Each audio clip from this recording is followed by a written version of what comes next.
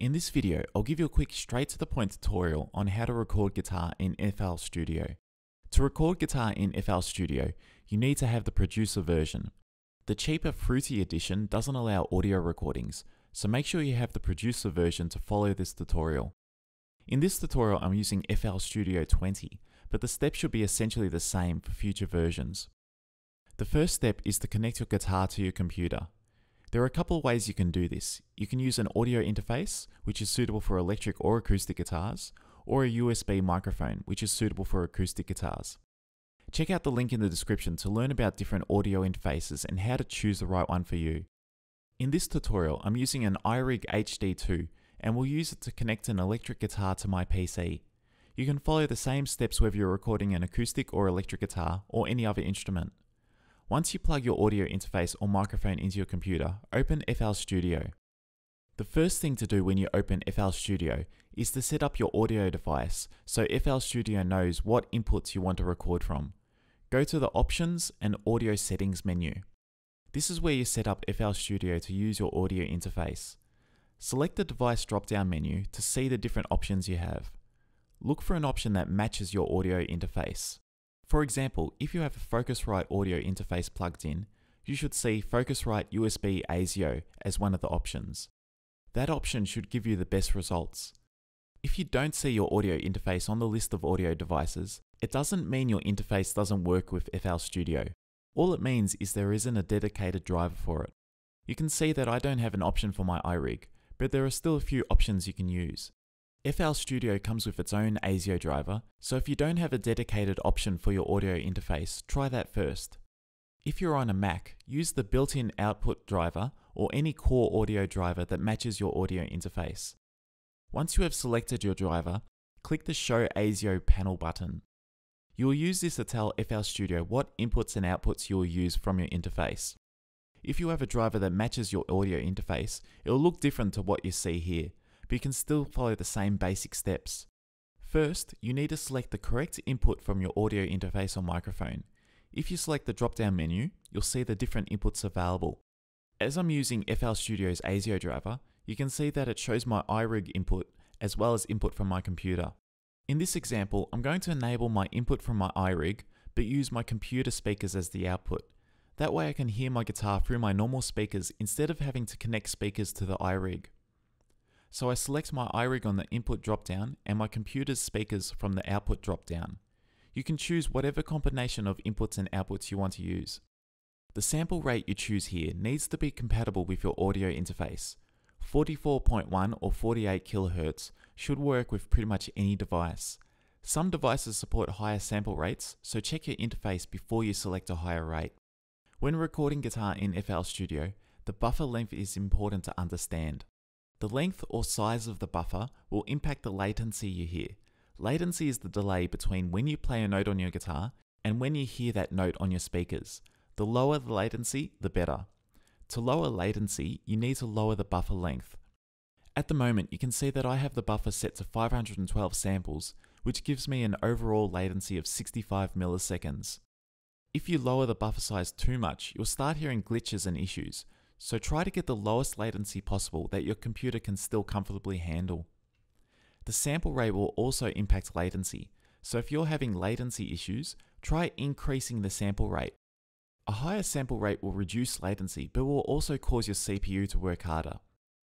As you can see, there is a lot of latency here, so if you have issues with FL Studio's ASIO driver, I recommend installing ASIO for all, which I've found gives better performance most of the time.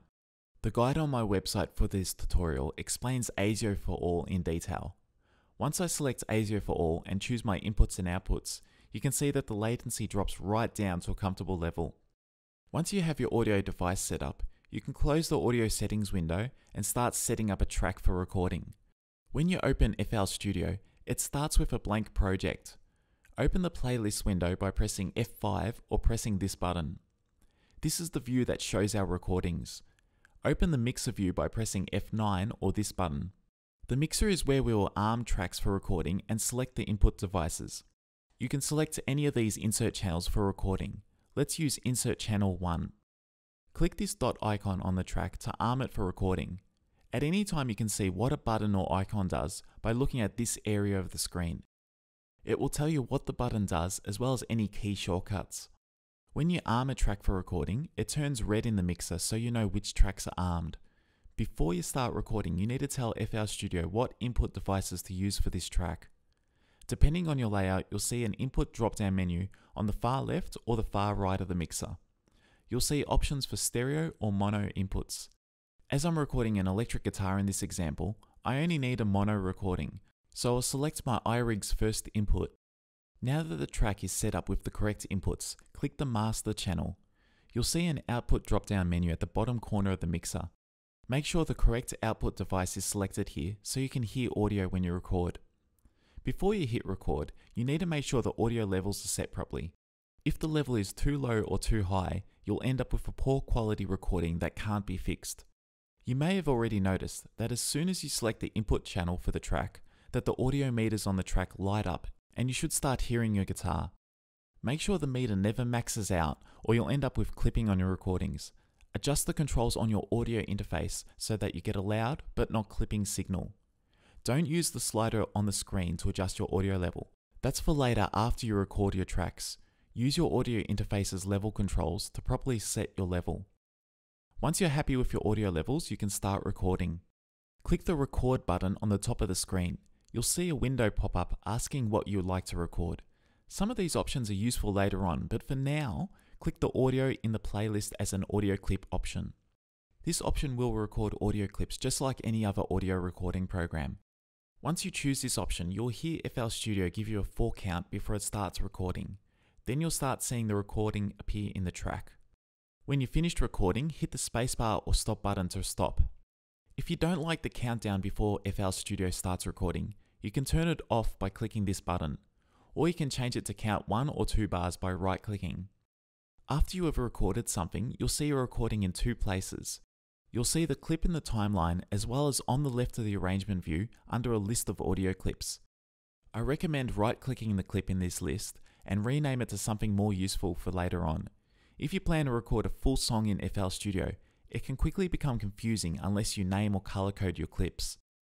If you want to delete a recorded clip, delete it from this list. Deleting it from the arrangement view doesn't delete the actual clip. On the timeline, you can drag the recording around in time or to other tracks. You can drag the ends to trim the clip, or you can remove it by right clicking it.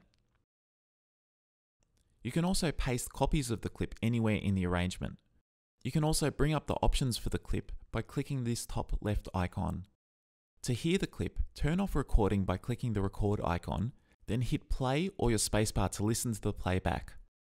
Okay, now that you know the basics on how to record guitar in FL Studio, let's have a quick look at using effects and plugins. FL Studio comes with a nice range of effects, and you can add third-party plugins such as Amplitube, Bias Effects, or Line 6 Helix Native to model guitar amps and effects. To add any plugin effect to a track, select the track in the mixer and look to the right to find the FX slots. Click a slot to bring up a list of effects you can add to the track. Click the More Effects option to see a full list. If you don't see any of your third-party plugins on this list, click the Manage Plugins button. Here you can add any directories where you have installed your plugins. Once you select the right folders, click the Start Scan button and you'll see the plugins appear on the list. FL Studio comes with a lot of effects, so it's handy to create an easy shortcut for any plugins that you'll commonly use. Let's create a shortcut where you can access all your favorite guitar plugins. In the Plugin Manager, click a plugin you'll regularly use. I've selected Amplitube 4 from the list. Now click the plugin option here on the left and bring up the settings for that plugin. Click the favorite text and enter a category. In this example, I've put in guitar plugins to make it easier for me to find Amplitube and other guitar plugins later on. I'll do the same with bias effects too. After you have added one or more guitar plugins to a custom category, you can close the plugin manager. Now when you click one of those FX slots in the mixer, you'll see your custom category show up with the plugins you added. This makes it nice and easy to quickly find your most used plugins from the list. If I click Amplitube, FL Studio loads it and then applies it to the track. If you close the plugin window, just click the plugin on the FX slot list to bring it back up. You can toggle effects on or off by clicking the little button to the right of the FX slot. I hope you found this quick tutorial helpful in getting you started with recording guitar in FL Studio. You now know how to set up your audio device, record your guitar, and add plugins. Check out my full guide in the description for more details and for solutions of common issues people have when trying to record guitar in FL Studio. Let me know in the comments if you found this tutorial useful so I know if I should make more of them or if you would like to see a tutorial on a specific topic.